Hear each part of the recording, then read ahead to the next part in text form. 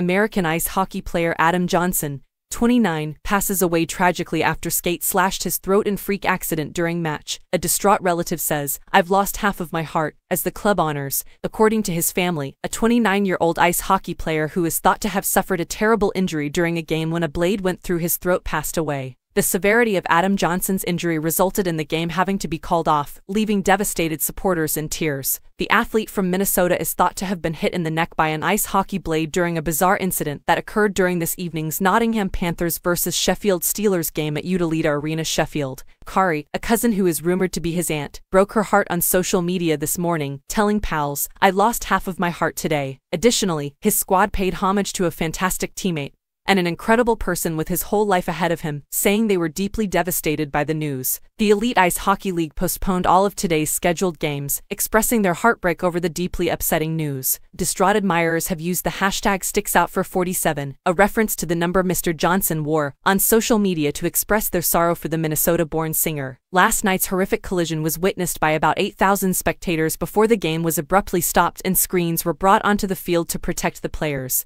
Later on, the match was dropped, the Nottingham Panthers are deeply saddened to report that Adam Johnson has passed away tragically following a terrible accident at the game in Sheffield last night, the team announced in a statement.